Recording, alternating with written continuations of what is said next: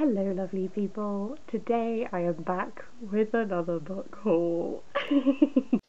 Dooby dooby dooby dooby dooby dooby dooby dooby dooby doo.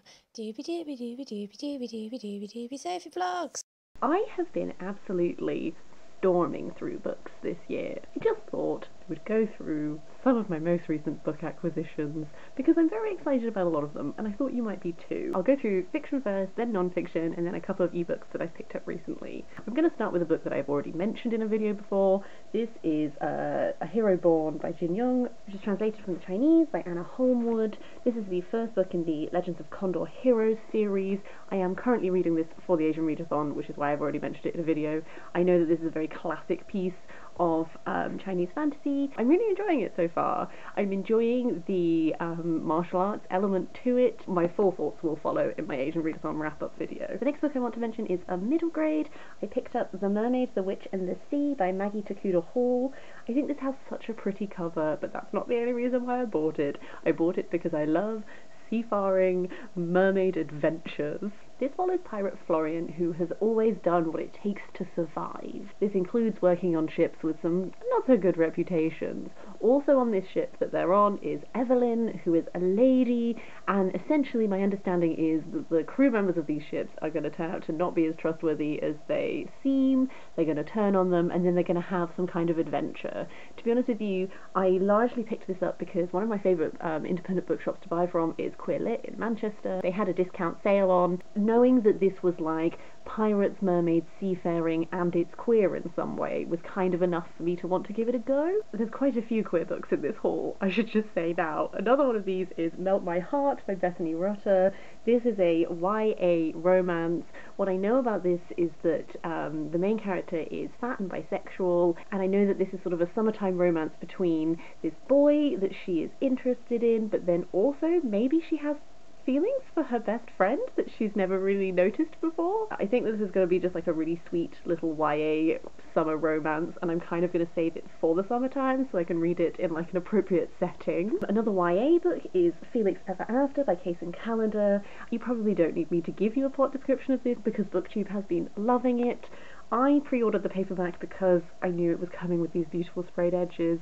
Um, I wanted to read it anyway, but sprayed edges are always a way to get me to actually buy a book. What I know about this is that um, Felix is a trans student, and uh, one day at his school, an anonymous person posts pictures of him pre-transition and dead names him, and so Felix sets out to seek revenge through catfishing this person. What I have heard from this um, that a lot of people liked is that this is one of those kind of like messy books where there are people making questionable decisions, but that's done in a way that feels very real, and I'm really interested in that. I don't always need my protagonists to be like wholly morally pure. Like there are ethics involved in deciding to catfish people, but um, I'm interested to see how it is handled. I'm interested to sort of just like read this um, characters' experience of sort of like finding themselves and discovering themselves and that kind of thing. So another one that I'm very excited for. Moving on to some adult fiction, I also picked up Dracul by J.D. Barker and Dacre Stoker.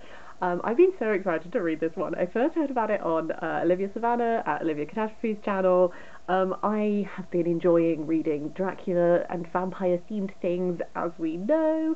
Um, this one is interesting because Dacre Stoker is a descendant of Bram Stoker who wrote Dracula and this is sort of inspired by experiences that Bram Stoker had. Essentially the back tells me that the like there were these missing 100 first pages of the original Dracula book um, and so this is inspired by notebooks and stuff that Bram Stoker left behind and then these two have worked together to sort of spin a tale about like maybe what could have happened. I think it sounds so interesting. I've been really enjoying these books that have sort of been engaging with the tradition of Dracula. And then also I like that this cover opens up. it's like a little window. I like a good novelty. Um, so yeah, I'm super intrigued about this one. Hopefully another fantastic gothic vampire novel to read. Um, I also picked up A Natural History of Dragons, a memoir by Lady Trent by Marie Brennan. I've heard a lot of good things about this. I think this is on my radar because of Jean at um, Jean's Bookish Thoughts. Um, essentially, I love a good dragon. This is kind of like positing it through like a sort of like scientific kind of lens, which is really intriguing. So like the main character of this Lady Trent is like the world's preeminent dragon scholar. This is kind of following the story of her like seeking out all of this information about dragons, but also like having her own adventure. So it says on the back, here at last, in her own words, is the true story of a pioneering spirit who risked her reputation, her prospects, and her fragile flesh to satisfy her scientific curiosity. I think this is going to be really interesting. I hope that it's going to be one that is written in a potentially interesting style as well. I kind of enjoy these books that are like dragons but done in like a slightly different tone than like the typical fantasy tone you might think of. Like for example, Tooth and Claw by Jo Walton, which was like Regency era dragons, and then this one which is like naturalism with dragons. That's just like super duper interesting to me. Another one that I'm really intrigued by is uh, when the dragon when the, when the dragons leave, when the whales leave. by Yuri Rytkheu, which is translated from the Russian by Ilona Yazhbin Chavasse. Essentially, I was interested in this because this author is from the Chukchi people, who are one of the minority peoples who live in northern Russia, and he's widely widely considered to be like the father of Chukchi literature. That's a place that I've never read anything from, so I was really intrigued. The back describes this as um, now cannot remember a time when she was not one with the world around her, until one day she encounters another human, Rue, a whale who has changed form out of his great love for her. Together these first people become parents to two whales and then to mankind. Even after Rue dies, Nau continues on, sharing a story of kinship between the two species. But disaster looms as the old woman's tales are subsumed into myth and her descendants grow disdainful of their origins. So I know that this is a retelling of the origin of the Chukchi people. It's also sort of serving as like a parable for the destructive force of human arrogance. Um, it sounds really interesting, and I'm really interested in reading more books that are from places that I've just never read literature from before. So I'm really intrigued by this one, and I hope it's going to be a very interesting reading experience. Um, the next two books are by the same author because I'm having a bit of a moment.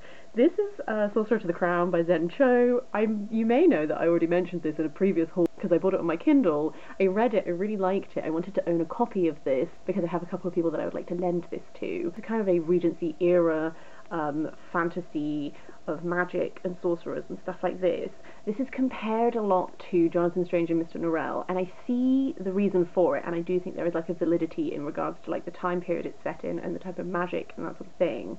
Um, I do think if you go in expecting that you might not have the best reading experience because it's doing its own thing very much so. We're following Zacharias, who is the first black sorcerer royal, and he's facing a lot of discrimination as a result. And then also Orphan Prunella, who has a magical gift, but women in this society are not expected to um, use their magic if they are of a certain level of breeding. It's very much like a critical look at like what it might be like to exist as sort of like a minority in this particular time as well as interweaving it with all this magic and fae and stuff like this. I had a really fun time reading this book. I really enjoyed it, so I wanted to buy myself a copy.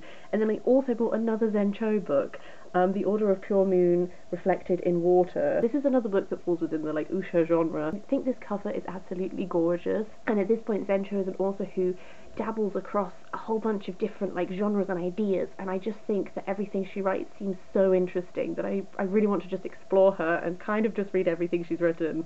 Uh, so this is where I'm going to go next, having read and enjoyed this one, although I do also have the sequel to this on my Kindle and I will be reading that as well.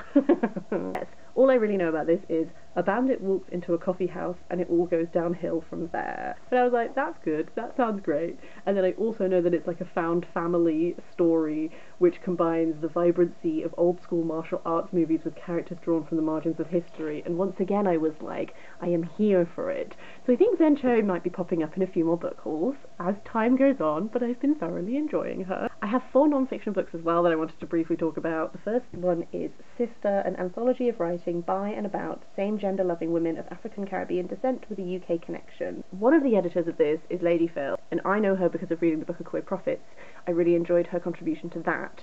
So she is sort of a, an activist and a figure that I have been wanting to sort of um, be more familiar with and read more of her writings. So I thought reading a collection that she has edited would be a great way to do that and also to introduce me to a whole bunch of new people. Uh, to the best of my understanding, this is sort of a combination of different types of writing. There's poetry in here, there's like essays in here, there's like short stories in here, and they're sort of all exploring like um, the writer's identities in some way. I'm not always the biggest anthology person when it comes to like short stories because I find short story collections can be a bit hit and miss for me. But my exception is that I love reading queer anthologies because I love getting those glimpses of like a whole myriad of different life experiences that are kind of like live under some kind of umbrella together but show you the similarities between stories and the differences that we have and just like explore the complexity of identity and that's a great way to sort of introduce yourself to new people whose work you might want to pursue further. So I'm really interested to get to this soon. Another sort of like collection is In the Kitchen Essays on Food and Life.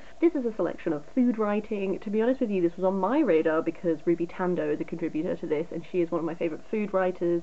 She has a cookbook coming out later this year that I will be definitely getting my hands on. I really loved her book Eat Up. But also uh, Ella Risbridger, who is another food writer who I really enjoy, and a whole bunch of food writers that I've never read anything by. And once again, I love food writing and I really want to read more food writing and become more familiar with more food writers. So I thought that this would be a really great way to introduce me to some more, as well as sort of giving me a couple of pieces by people that I know that I already am a big fan of. Next up is Gossip from the Forest, The Tangled Roots of Our Forests and Fairy Tales by Sara Maitland. Um, this is a piece of nature writing that is examining the links between sort of like forests and fairy tales. I'm interested in both of those topics. Um, I also think that this cover is quite interesting with all of the tangled lines and everything. Yeah, so I'm just really interested to sort of get like a better sense of how these fairy tales are, I assume, like rooted in ancient landscapes and kind of that sort of idea. The final non-fiction book I will mention is uh, Empress Dowager uh, Cixi by uh, Jung Chang. Uh, I really enjoyed Wild Swans, which is by the same author, which was sort of like a, a, autobiographical look through generations of her family. This is looking at this particular Chinese empress. I don't know anything about her, but I, I enjoyed how Wild Swans was written as well as what we were being told. So again, I'm trying to, when I like authors, explore more of their works rather than being a little magpie and only reading like one book and being like, I really liked that, and then never reading anything by that author ever again. Finally, I just wanted to mention a handful of ebooks that I also bought recently. The first one of those is Truly Devious by Maureen Johnson. This is set in Ellingham Academy. I think it might be a dark academia style book. All I know is that um, shortly after this academy opened, the wife and daughter of the founder were kidnapped and the only clue was a mocking riddle listing, listing methods of murder signed with the frightening pseudonym Truly Devious.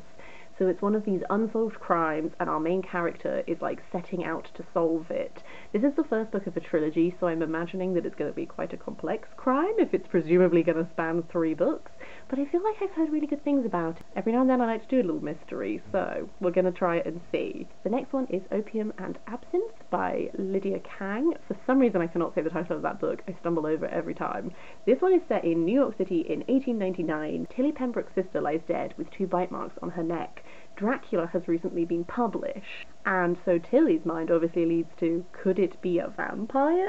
She seems to be someone who is very like analytical and research based, so she like throws herself into researching could vampires be real? Unfortunately, Tilly is also addicted to opium, so I think this is going to be this element of um, diving into this research to try and figure out what's happened to her sister, but then also sort of losing herself slightly in this addiction that she has, and then raising this question of are vampires real? Could it be um, her being affected by the drugs that she's taking? What's going on? Again, I love me a novel that is having a dialogue with Dracula, don't I? How could I resist? The next one is uh, Kitchen Confidential by Anthony Bourdain. Anthony Bourdain is one of those people who is so big in the food world. I have seen some of his um, documentaries. I've seen like a handful of episodes. Um, this is his book that is sort of like exposing the reality behind like being a chef. Um, it's described as um, 25 years of sex, drugs, bad behavior, and hot cuisine. So I think that that sounds interesting and a slightly different take on food writing than any other food writing I've done before. So again, thought I'd pick it up and give it a go. Um, and then finally is New Suns, original speculative fiction by people of colour. This is sort of just uh, showcasing a whole bunch of writers who write within uh, fiction, fantasy, horror as sort of genres. Again, I know I keep saying that I'm not really great on short story collections, but I do quite like a good collection that introduces me to like new authors and stuff that I might want to pursue. I think what I've identified is that I just have to pick collections that are better suited to what I'm looking for and what I'm interested in pursuing. Um, so yeah, I am hoping that this one will be full of a lot of exciting new writers that again can go forth, can explore that's everything I wanted to talk about. Bit of a beast, I know. I would really love to hear if you have read any of these. I would genuinely love to hear your thoughts on them, or if you have anything based on these topics that I think it's clear that there are a couple of topics that I'm like, interested in exploring at the moment. If you have any other book recommendations based on those, I would really love to hear them. Um, but yeah, otherwise, I hope you're having a really lovely day. I will see you next time for something different.